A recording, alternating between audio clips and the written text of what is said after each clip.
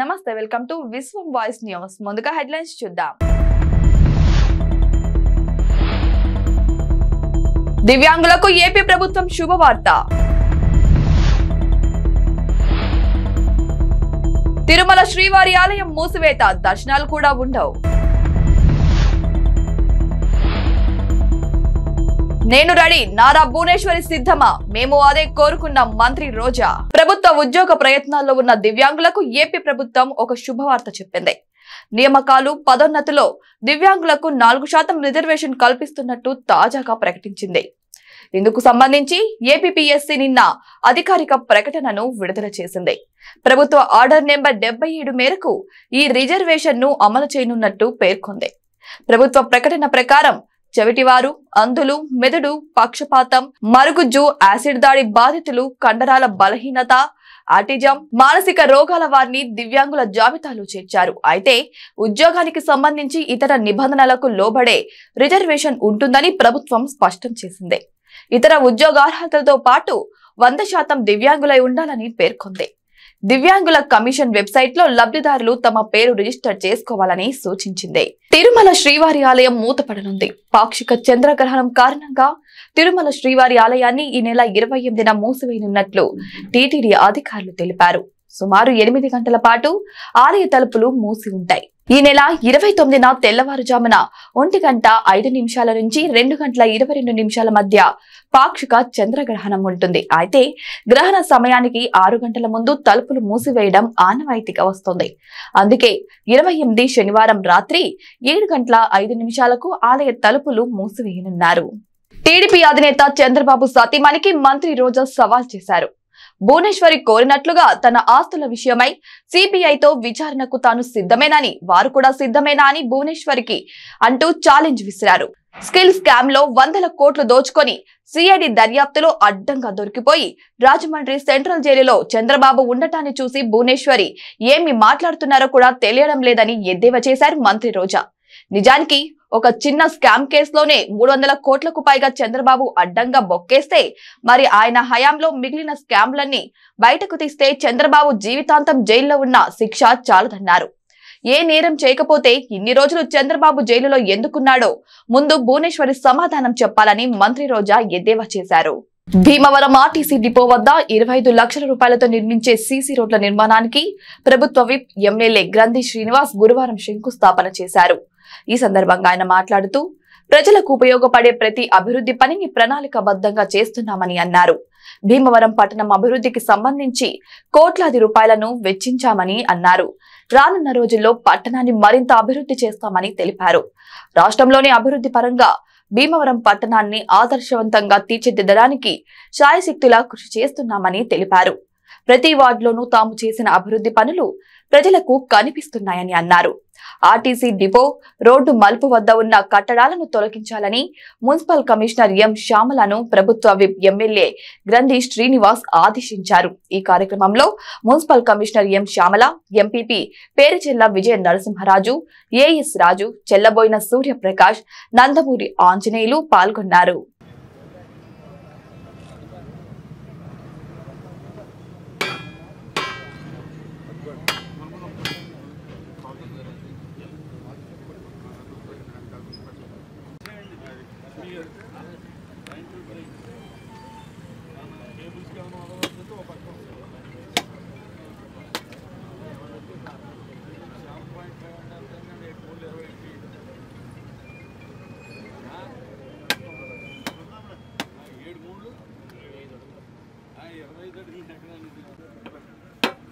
కనీసం పన్నెండు మీటర్లు ఉండాలి మీరు బాబు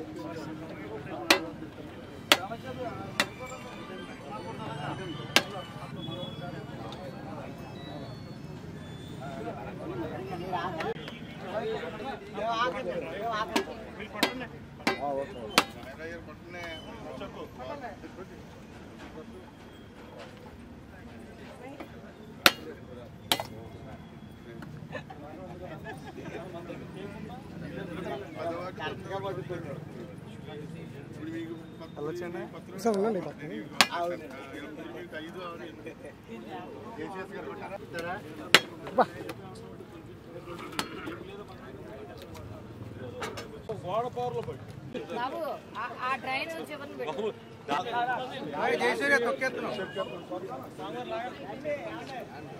పన్నెండు ఇంక బోట్ల మీద పరమానం ఉన్నాయా ఏం జరుగుతుంది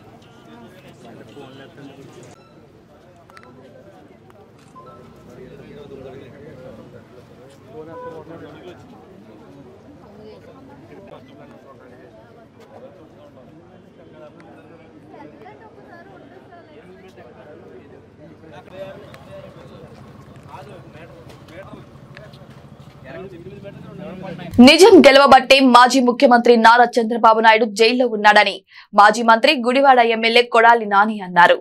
గుడివాడలోని ఓ కార్యక్రమంలో పాల్గొన్న కొడాలి నాని చంద్రబాబు నాయుడు సతీమణి భువనేశ్వరి చేపట్టిన బస్సు యాత్రపై ఘాటుగా స్పందించారు. చంద్రబాబు కుటుంబం అవినీతితో కూరుకుపోయిందని విమర్శించారు. చంద్రబాబు నాయుడిని అరెస్ట్ చేస్తే చచ్చిపోయారంటే అమరావతిలో ఉద్యమంలో రైతులు చచ్చిపోయారని చెప్పి ముసలోళ్ళు ముత్తకోళ్ళు మామూలుగా చనిపోతే సేమ్ అదేటువంటి ఉద్యమం జరిపారు. ఈరోజు మళ్ళీ చంద్రబాబు నాయుడు అక్రమ అరెస్ట్ అని చెప్పి నిజం గెలవాలని చెప్పి కోరుకుంటున్నారు. తప్పకుండా నిజం అనేది కొంత లేట్ అయినప్పటికీ నిజమే గెలుస్తుంది. వెయ్యి కోట్లు తిన్న రాబందు ఒక గాలివానకు కట్టుకుపోయినట్టు చంద్రబాబు నాయుడు ఈ రాష్ట్ర ప్రజలని రెండు ఎకరాల నుంచి బిగిన్ అయ్యాడు.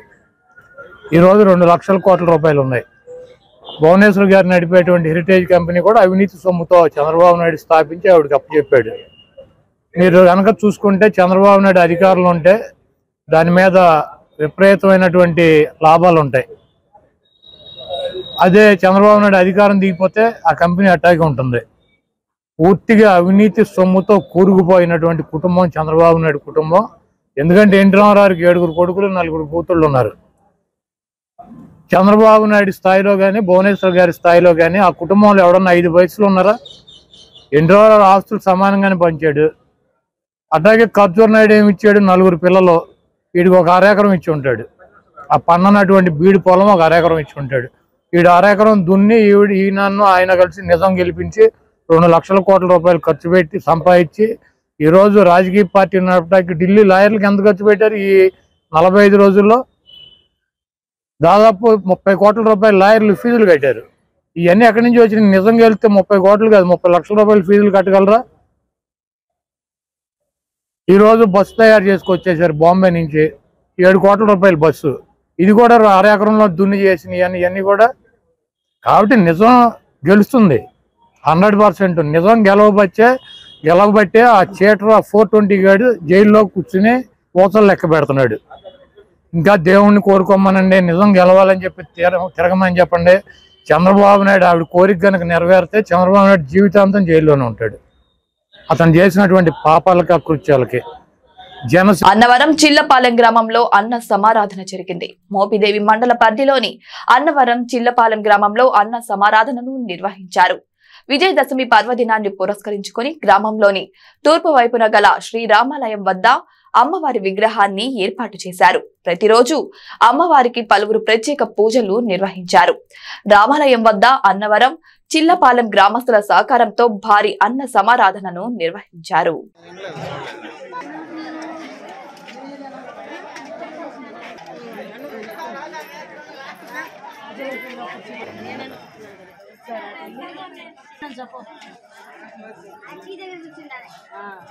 అక్కడే ఉండాలి.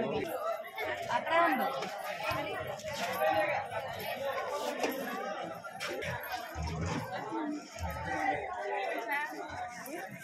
నెల్లూరు జిల్లా కావలిలో నూతన ప్రాంతీయ రవాణా కార్యాలయాన్ని ప్రారంభించిన రాష్ట్ర వ్యవసాయ శాఖ మంత్రి కాకాని గోవర్ధన్ రెడ్డి. ఈ కార్యక్రమంలో పాల్గొన్న కావలి శాసనసభ్యులు రామిరెడ్డి ప్రతాప్ కుమార్ రెడ్డి.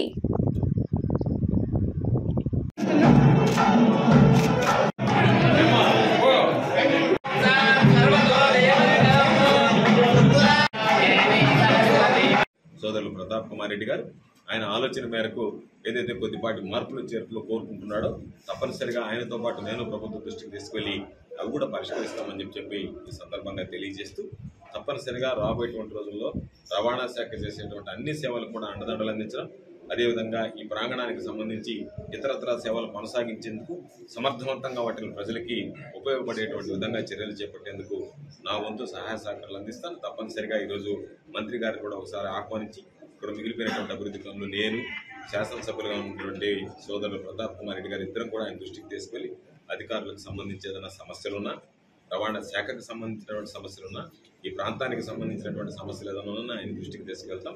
ఏది ఏమైనా నెల్లూరు జిల్లాకు సంబంధించి రవాణా శాఖ ఈరోజు సమర్థవంతంగా పనిచేస్తుంది.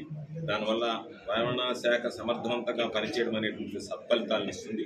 రాబోయేటువంటి రోజుల్లో కూడా రవాణా శాఖ ఇదే విధంగా సేవలు కొనసాగించాలని చెప్పి కోరుకుంటూ ఈరోజు మంచి భవనాన్ని నిర్మించుకొని మమ్మల్ని కావలి నియోజకవర్గంలో విద్యుకోట గ్రామం పరిసర ప్రాంతంలో హైవే మీద నిర్మితమైన మన రవాణా శాఖకు సంబంధించిన ఈ నూతన భవన ప్రారంభోత్సవం సందర్భంగా ఈ కార్యక్రమానికి విచ్చేసిన పెద్దలు గౌరవనీయులు మన అగ్రికల్చర్ మినిస్టర్ అయిన కాకాన గోవర్ధన్ అన్న గారికి. అదేవిధంగా ఈ భవనం ఇంత చక్కగా నిర్మితం అవడానికి ముఖ్య కారణమైన ఆర్టీఓ గారు సుధాకర్ రెడ్డి గారికి మరియు ఇతర అధికారులకు అదేవిధంగా న్యూయార్క్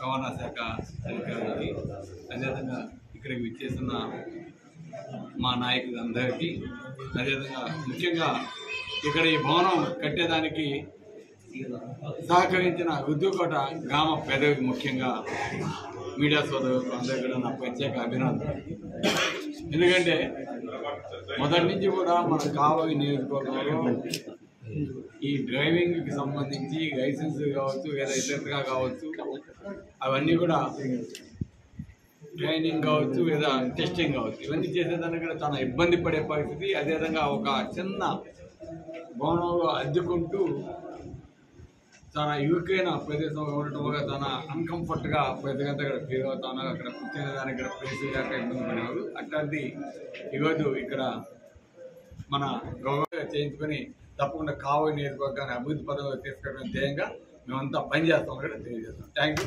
అదేవిధంగా ఈ- ఇంకొకసారి యాక్టివ్గా మన సుధాకర్ ప్రత్యేకంగా ఈ బిల్డింగ్ కట్టేదానికి అందరి సహకారం తీసుకొని ఈరోజు అందరి సహకారం తీసుకొని డబ్బు ఉండగానే కాదు కట్టే విధానం కూడా చాలా ఇంపార్టెంట్ దగ్గరుండి పర్యవేక్షణలో ఇంత చక్కగా ఈ భవనాన్ని కట్టడం నిజంగా అప్రిషియేట్ చేస్తున్నాం. అందుకు సుధాకర్ రెడ్డి మెత్త మెత్త అధికారులు కూడా. నేను ప్రత్యేక అభినందనలు కూడా తెలియజేస్తాను. థ్యాంక్ యూ థ్యాంక్ యూ ఉమ్మడి కడప జిల్లా సమాజ్వాదీ పార్టీ నియోజకవర్గాల నాయకుల రౌండ్ టేబుల్ సమావేశం బుధవారం మయూరా గార్డెన్స్ కడప నందు జరిగింది. ఈ సమావేశంలో సమాజ్వాదీ పార్టీ రాష్ట్ర అధ్యక్షులు శ్రీ పాషం వెంకటేశ్వర్లు రాష్ట్ర ప్రధాన కార్యదర్శి పిన్నపోయిన శ్రీనివాస్ రాష్ట్ర యూత్ నాయకులు కళ్యాణ్ పాల్గొన్నారు. ఈ సమావేశానికి బివి సుబ్బరాయుడు అధ్యక్షత వహించారు. ఈ సమావేశంలో ఉమ్మడి కడప జిల్లా నియోజకవర్గ నాయకులు కూడా పాల్గొన్నారు. నియోజకవర్గ నాయకులు వారి అభిప్రాయాలు రాష్ట్ర అధ్యక్షులు పాశం వెంకటేశ్వర్లకు తెలియజేశారు ఆయన మాట్లాడుతూ సమాజ్వాదీ పార్టీ లక్ష్యం రాష్ట్రంలో సోషలిస్ట్ భావజాలాన్ని ప్రజలోకి తీసుకువెళ్ళడమే అని పార్టీ ధ్యేయమే అని అని అన్నారు. కులాలకు మతాలకు అతీతంగా పార్టీ నిర్మాణమే అంతిమ లక్ష్యమని ఆయన అన్నారు. ఈ కార్యక్రమంలో సమాజ్వాదీ పార్టీ కడప జిల్లాలలోని నియోజకవర్గ ఇన్ఛార్జీలు వై రామకృష్ణ వై రమేష్ నాయకులు కార్యకర్తలు పాల్గొన్నారు. మేము మేము కలిసి పనిచేస్తాం. సార్ గతంలో కొన్ని ఇబ్బందులు జరిగినప్పటికీ ఇట్లా జరుగుతుంది మీకు బాగుంటుంది. సార్ ఇలా చేయండి. మీరు రాష్ట్రంలో తిరుగుతున్నారు కాబట్టి ఇలా ఇది కూడా చేసుకోండి. ఇంకో సంఘాలు బ్యాక్ వెళ్ళదు సమాజ్వాదీ పార్టీలో మనం ఇంట్రెస్ట్ పనిచేస్తాం. అందరికీ నమస్కారం. ఈరోజు కడప జిల్లా కడప టౌన్లో సమాజ్వాదీ పార్టీ కార్యకర్తలు నాయకులు ఏర్పడిన సమావేశానికి రాష్ట్ర అధ్యక్షుడిగా నేను ఈరోజు ఇచ్చేశాను. సమాజ్వాదీ పార్టీ దేశంలో సోషలిస్టు భావజాలం కలిగిన మొట్టమొదటి పార్టీ. ఈ పార్టీ రామ్ మనోహర్ లోహే సిద్ధాంతాలు కట్టుబడి స్వర్గీయ ములాయం సింగ్ యాదవ్ గారు అజాం ఖాన్ గారు వీరంతా కూడా పార్టీ పెట్టారు ఆ రోజు ఢిల్లీలో. మూడుసార్లు రాష్ట్ర ముఖ్యమంత్రిగా ఈ పార్టీ నుంచి ఎన్నికైనారు. అయితే ప్రస్తుత పరిస్థితిలో ఆంధ్రప్రదేశ్లో కూడా గతంలో కూడా సమాజ్వాదీ పార్టీ ఉన్నప్పటికీ కూడా ఈ ఈ తరుణంలో ఎక్కడైతే దళితులు పేదలు ముస్లిమ్స్ అందరూ కూడా వెనుకబడి ఉన్నారనేటువంటి విషయాన్ని గమనించిన అఖిలేష్ గారు నూతన అధ్యక్షుడిగా నూతన అధ్యక్షుడు నాకు బాధ్యతలు చేపట్టి మీరు రాష్ట్రం మొత్తం కూడా మీరు పనిచేయాలి. ఆంధ్రప్రదేశ్లో ఉన్నటువంటి ఈరోజు బూజువా పార్టీలు కానీ ఈరోజు దేశంలో ఉన్నటువంటి మతతత్వ పార్టీకి బీజేపీకి కానీ ఈ రెంటికి కూడా మనం వ్యతిరేకంగా పనిచేస్తాం ఫస్ట్ నుంచి కూడా. అయితే దేశంలో అవినీతి కుంభకోణం జరిగిపోయినప్పుడు కానీ మతాలు ఎలక్షన్లో మతాలను రెచ్చగొట్టి ఎలక్షన్ పబ్బం గడుపుకున్నటువంటి బీజేపీతోటి ఇక్కడ ఉన్నటువంటి మూడు పార్టీలు అధికార ప్రతిపక్షాలు మూడు కలిసి కూడా ఈరోజు వాళ్ళతోటి వెళ్తా ఉన్నాయి. ఈ పార్టీని ఎదుర్కోవాలంటే ఆంధ్రప్రదేశ్లో సమాజ్వాదీ పార్టీ అవసరం ఉందని చెప్పేసి తేల్చడం జరిగింది. అటు పిమ్మట నేను ఈరోజు తీసుకొని రెండు నెలలు మాత్రం అవుతా ఉంది. రాష్ట్రంలో రెండు వేల ఇరవై నాలుగుకే నూట డెబ్బై ఐదు నియోజకవర్గాల్లో ఇరవై ఐదు పార్లమెంట్లో ఖచ్చితంగా పోటీ చేయడానికి అన్ని జిల్లాల కమిటీలు వేసుకుంటూ అలాగే నియోజకవర్గ స్థాయి నుంచి మండల స్థాయి గ్రామ స్థాయికి వెళ్తూ నిర్మాణం కోసం ఈరోజు ఇక్కడ రావడం జరిగింది. అయితే ఈరోజు ఆంధ్రప్రదేశ్లో నువ్వు దొంగ అంటే నువ్వు దొంగ అని చెప్పేసి వాళ్ళు వాళ్ళు తిట్టుకొని ఎవరు ఎన్ని కేసులు ఉన్నాయి ఎవరు ఎన్ని మో- మోసగాళ్ళని చెప్పేసి వాళ్ళే బయట పెట్టారు మేము దాని గురించి మాట్లాడదలుచుకోలేదు. ఈరోజు దళితులపైన దాడులు జరుగుతున్నాయి మహిళలపైన దాడులు జరుగుతూ ఉన్నాయి విద్యార్థులపైన దాడులు జరుగుతూ ఉన్నాయి. ఇవన్నిటిని కూడా ఖండించకపోగా దొంగ దొంగ అనేటువంటి పద్ధతిలో వాళ్ళు ఉన్నారు కాబట్టి ఈ సోషలిస్ట్ పార్టీ భావజాలాన్ని బడుగు బలహీన వర్గాలకి దగ్గర చేర్చుకొని అధికారం రాబోయే రోజుల్లో సమాజవాది పార్టీ లేకుండా దేశంలో కానీ ఈ రాష్ట్రంలో కానీ అధికారం చేపట్టేటువంటి పరిస్థితి లేదని చెప్పడానికే ఈరోజు నేను కడప జిల్లాకు వచ్చేసాను. అందువల్ల కార్యకర్తలందరూ కూడా బలమైన కార్యకర్తలు ఉన్నారు ఇక్కడ. ఎందుకంటే డెబ్బై ఐదు సంవత్సరాల్లో బీసీలు కానీ ఎస్సీలు కానీ ముస్లిమ్స్ కానీ మైనార్టీలు కానీ ఎస్టీలు కానీ ఎంత అనగదొక్కబడి ఉన్నటువంటి విషయాన్ని మీకు నేను చెప్పకనే చెప్తూ ఉన్నాను. కాబట్టి సోదరులారా కడప జిల్లా నుంచి ఈరోజు కమిటీలు కూడా మేము ఫామ్ చేయగలుగుతున్నాం. మరొకసారి పెద్ద మీటింగు ఈ జిల్లాలో అధికార పార్టీ ప్రతిపక్షాలకు ధీటుగా మా నాయకులను కలుపుకొని ఒక పెద్ద ఉద్యమాన్ని తీసుకొచ్చి మీకు ఎవరైతే ఈరోజు అవినీతి అక్రమాలకు పాల్పడుతున్న ఎమ్మెల్యేలు ఎవరైతే ఉన్నారో ప్రతిపక్ష నాయకులు ఉన్నారో వాళ్ళు ధీటుగా కరెక్ట్ పర్సన్ని సెలెక్ట్ చేసి ఇరవై నాలుగులో రెండు వేల ఇరవై నాలుగు కంటెస్ట్ చేస్తా అని చెప్పేసి తెలియపరుస్తూ ముగిస్తాను థ్యాంక్ యూ సార్. నెల్లూరు జిల్లా కావలిలో మర్డర్ మిస్టరీని మిస్టరీని ఛేదించినట్లు స్థానిక డీఎస్పీ కార్యాలయంలో ఏర్పాటు చేసిన విలేకరుల సమావేశంలో డీఎస్పీ వెంకటరమణ వివరాలను వెల్లడించారు. ఈ సందర్భంగా డీఎస్పీ మాట్లాడుతూ కావలి జనతా పార్టీ నార్త్లో నివాసం ఉంటున్న మంచాల రమణమ్మను పది రోజుల క్రితం తెల్లవారుజామున వరప్రసాద్ అనే యువకుడు చంపేసి బీరువా తాళాలు పగలగొట్టి సుమారు లక్ష అరవై నాలుగు వేల విలువ గల బంగారు నల్లపూసల దండ నక్లెస్ రెండు జతల బంగారు కమ్మలను ముద్దాయి దొంగలించి పరారైనట్లు చెప్పారు. యూట్యూబ్ వీడియోలు చూసి అవగాహన తెచ్చుకొని పథకం ప్రకారం హత్య చేసి బంగారు వస్తువులను దొంగలించాడని తెలిపారు. ఎస్పీ తిరుమలేశ్వర్ రెడ్డి ఉత్తర్వుల మేరకు పరారీలో ఉన్న ముద్దాయి వరప్రసాద్ను లైన్స్ లైన్స్ నగర్ దగదర్తి తన ఇంటి వద్ద అదుపులోకి తీసుకొని అరెస్ట్ చేసి రిమాండ్కు తరలించడం జరుగుతుందని పేర్కొన్నారు. కేసును ఛేదించిన సిఐ సుధాకర్ ఎస్ఐలను డిఎస్పీ అభినందించారు. కావలి పట్టణం రెండవ police station two town police station పరిధిలో ఇరవై రెండు ఈ నెల ఇరవై రెండో తేదీన ఒకటి మటఫర్కి మటఫర్ గేమ్ జరిగింది. ఇందులో వివరాలకి వెళ్తే జనతాపేట నార్త్లో ఒకటవ వీధిలో ఉన్నటువంటి ఈయన ఒకటో వీధిలో వరప్రసాద్ రమణమ్మ ఒక ముసలావిడ ఎయిటీ ఫైవ్ ఇయర్స్ ఉంటుంది. వాళ్ళ అల్లుడు మాల్యాద్రి ఆయన ఆర్ఐఓ రిటైర్డు. వాళ్ళ కూతురు టీచర్గా భారతి పనిచేస్తుంటారు వీళ్ళ ఇంట్లో ముగ్గురే ఉంటారు. ఈయన రిటైర్డ్ అయ్యడం వలన అతనికి సొంతంగా మోటార్ సైకిల్ డ్రైవ్ చేయడం రాదు. తర్వాత కొద్దిగా అనారోగ్య కారణాల వల్ల అసిస్టెంట్గా ఒక సంవత్సరం క్రితం దగదర్తి మండలంలో అనంతపురానికి చెందినటువంటి తిరుపతి వరప్రసాద్ అనే వ్యక్తిని అతని అసిస్టెంట్గా పెట్టుకోవడం జరిగింది. ఈ వరప్రసాద్ కావల్లో డిగ్రీ చదివి ఫైనల్ ఇయర్ ఫెయిల్ అవ్వడం జరిగింది. ఇతనికి ఆ డబ్బులు అవసరం నిమిత్తం ఇతనికి అసిస్టెంట్గా ఉన్నాడు. ఈ క్రమంలో మాల్యాద్రి ఇంట్లోకి వస్తా వెళ్తా ఉండడం జరిగింది.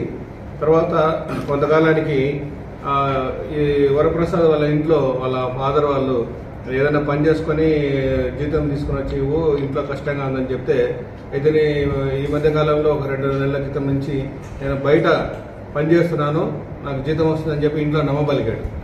నమ్మవాళ్ళకి కావల్లో పెయింటర్గా తర్వాత మేస్త్రిగా గోడలు కట్టుకుంటా మ్యాషన్గా పనిచేశాడు. పనిచేసిన జీతం ఒక పదిహేను వేల రూపాయలు వస్తే కొంత వాళ్ళ ఫాదర్కి ఇవ్వడం జరిగింది తర్వాత కొంత అతని సొంత ఖర్చులు వాడుకోవడం జరిగింది. ఈ రెండో నెల వచ్చేసరికి మళ్ళీ జీతం కావాలి కాబట్టి ఏం చేయాలని ఆలోచన చేసి అతను ఏం చేశాడంటే యూట్యూబ్లు చూసి దొంగతనం ఎలా చేయాలని దాని మీద ఒకసారి చూడడం జరిగింది. చూసిన తర్వాత దొంగతనం చేయడానికి నిర్ణయించుకున్నాడు. ఇతనికి బాగా తెలిసినటువంటి బాలాద్రి ఇంట్లో దొంగతనం చేయాలని నిర్ణయించుకున్నాడు. ఎందుకంటే అతనికి బాగా తెలుసు. మాలాద్రి ఇంట్లో పొద్దున పూట మాలాద్రి కానీ వాళ్ళ భార్య కానీ ఉండరు వాళ్ళు వాకింగ్కి వెళ్తారు. తర్వాత ఇంట్లో ముసలాడ ఒకటే ఉంటుంది కాబట్టి అది ఈజీగా అతనికి యాక్సెస్ ఉన్న ఇల్లు కాబట్టి ఆ ఇంటికి వెళ్ళడం జరిగింది. పది రోజుల క్రితం ఈ నేరం జరగక ముందు పది రోజుల క్రితం ఒకసారి ఇంటికి వెళ్ళాడు. ఉదయం ఐదు గంటలకు వెళ్ళాడు. ఖమ్మం వైఎస్ఆర్ కాలనీలో ఏర్పాటు చేసిన ఆత్మీయ సమ్మేళనంలో పాల్గొన్న తుమ్మల నాగేశ్వరరావు. ఖమ్మం అసెంబ్లీ నియోజకవర్గం అభ్యర్థి తుమ్మల నాగేశ్వరరావు ప్రతి ఇంటికి వెళ్ళి గడప గడపకు అనే కార్యక్రమాన్ని ప్రారంభించి తనదైన శైలిలో ప్రజలకు కలుపుకొని ప్రతి ఒక్కరిని పలకరించి కాంగ్రెస్ పార్టీని అత్యధిక మెజార్టీతో నన్ను గెలిపించాలని దీనికి మీ అందరి ఆశీర్వాదం మీరు నాకు ఇవ్వాలని ప్రతి ఒక్కరిని వేడుకుంటూ ముందుకు వెళ్తున్నారు. ఈ సందర్భంగా ప్రజలు వైఎస్ఆర్ నగర్ ఎనిమిదవ డివిజన్ కార్యకర్తలు భారీగా బైక్ ర్యాలీని కూడా నిర్వహించి వారి అభిమానాన్ని చాటారు. రాబోయే ప్రభుత్వం కాంగ్రెస్ పార్టీ అని ప్రజలకు తెలియచేసి మీకు ఏ ఆపద వచ్చినా నేను మీ వెన్నంటే ఉంటానని ప్రజలకు హామీ ఇచ్చి నన్ను గెలిపించాలని వారు కోరారు. మన డివిజన్ ఉందా అని చెప్పేసి అనుమానం కలిగించేటట్టుగా ఉంది. అక్కడ బస్సు దిగితే ఆటో దిగితే రాత్రి పది దాటిన తర్వాత ఆటో వచ్చే ఫెసిలిటీ లేదు. కనీసం ఒక స్ట్రీట్ లైట్ కూడా మనకు వైఎస్ఆర్ కాలనీకి రావడానికి సుమారు ఐదు నుంచి ఆరు వేల ఇండ్లు ఇక్కడ ఉంటా ఉన్నాయి. సుమారు పది నుంచి పదిహేను వేల మంది ఇక్కడ నివాసం ఉంటా ఉన్నారు. ఇక్కడికి రావడానికి రోడ్డు కూడా సరిగా సదుపాయం కల్పించలేని కరెంటు వసతి కల్పించలేనటువంటి మంత్రి ఖమ్మంకి ఏదో గొప్పలు చేశా అని చెప్పేసి చెప్పడం అనేది చాలా విడ్డూరంగా ఉంది. దీన్ని అందరూ గమనించాలి. ఖచ్చితంగా రాబోయే రోజుల్లో తుమ్మల గారి హస్తం గుర్తుకి ఓటు వేసి ఖచ్చితంగా గెలిపించాలని చెప్పేసి మీ అందరినీ సవినయంగా ప్రార్థిస్తూ అత్యధిక మెజార్టీతో సుమారు యాభై వేల నుంచి అరవై వేల మెజార్టీ వచ్చేటట్టుగా మనం గెలిపించుకోవాల్సిన అవసరం ఉందని చెప్పేసి రాహుల్ గాంధీ గారి నాయకత్వం. చరిత్రని మీ ముందుంచుతున్నారు. జరగబోయే చరిత్రను కూడా మీ ముందుంచుతున్నారు. రేపు భవిష్యత్తు కార్యక్రమాన్ని తీర్చిదిద్దాల్సినటువంటిది కోరి తెచ్చుకోవాల్సింది మీరు.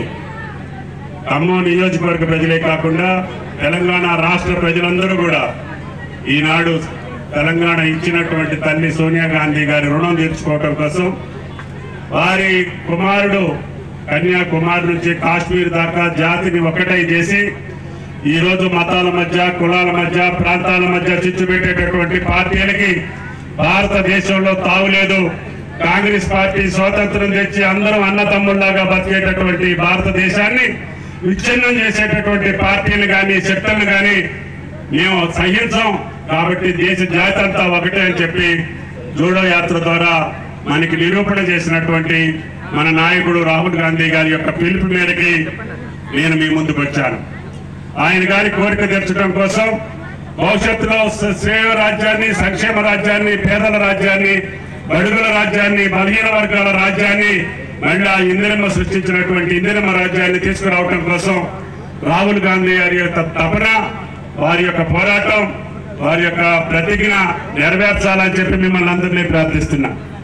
ఆ రకంగా మీ అందరూ కష్టపడి ఈ వైఎస్ఆర్ కాలనీ వాసులు జావీద్ గారి నాయకత్వంలో అదేవిధంగా సైదుల్ గారి నాయకత్వంలో మీ అందరూ ఎన్నో పోరాటాలు నాలుగున్నర సంవత్సరాలుగా దెబ్బలాడి పోరాటం చేసి మీ హక్కుల్ని మీరు పరిరక్షించుకుంటున్నారు. ఎంత మీరు పోరాటం చేసినా గుట్టలు ఆగట్లేదు ఖాళీగా ఉన్న ప్లాట్లు ఆగట్లేదు ఇసుక ఆగట్లేదు ఆఖరికి మీ ఆస్తులు కూడా దోసుకునేటటువంటి పరిస్థితికి ఒక బందిపోటు మొత్తాన్ని గత ఈ యొక్క ప్రజాప్రతినిధి సృష్టించి ఆడని జల మీదకు తోలి తోడేడు మాదిరిగా వేటాడి వేటాడి వెంటాడుతున్నాడు. రాత్రి ఒక మన్సూర్ అని ప్రాణాపురం వాళ్ళ పాపకి నిశ్చితార్థం జరుగుతుంది. అంటే పూలు పండ్లు ఇచ్చే కార్యక్రమం. వాళ్ళు పాపం పిల్లగాడిని ఇచ్చేవాళ్ళు ఆయన గారి ఇంటికి వచ్చారు. ఆయన ఎప్పుడో మూడేళ్ళ క్రితం ఏదో కేసు ఉంటే పోలీసులు అందరూ పోయి నిర్బంధించడం వాళ్ళందరినీ తీసుకొచ్చి ఇంటి మీదకి దాడికి పంపించారు. ఆయన నిన్న పొద్దున కార్యక్రమం అవగానే కాంగ్రెస్ పార్టీలో జాయిన్ అవ్వాలని చెప్పి ఒక వంద మందిని తయారు చేసుకున్నారు. ఆ వార్త వాళ్ళకి తెలిసి ఆ ఇంటి మీదకి దాడికి వెళ్తే ఆ పాపకి నిశ్చితార్థానికి వచ్చినటువంటి బంధువులందరూ కూడా తరారైపోయారు ఈరోజు ఆయన ఆత్మహత్య చేసుకుంటానని చెప్పి ఆ పాప కూడా అవమానంతో భారంతో కుంగిపోతా ఉంటే మీరు ఏ రకంగా తొందరపడద్దు. ఇవి వాళ్ళ బులెటిన్ అప్డేట్స్. Keep watching